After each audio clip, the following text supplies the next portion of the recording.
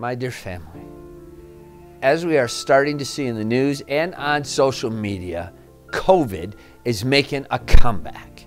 Simply put, we cannot fall for this trap again.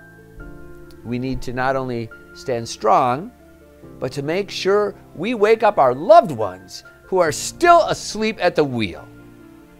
This summer, some friends of mine at Truth Army Productions asked me to be one of their subjects for a documentary on COVID, the mandates, and, and all the horrible things that happened under the guise of health.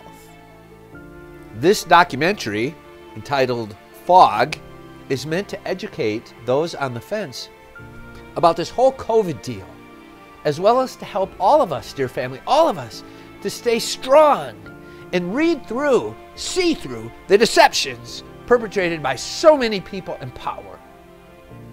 We want to get this video in front of as many people as possible, which is why the creators of FOG have launched a fundraising campaign to promote its release as far and as wide as possible.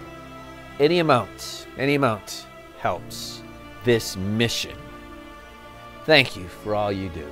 Thank you for all you can do. And you can look forward to watching it in the winter of 2023.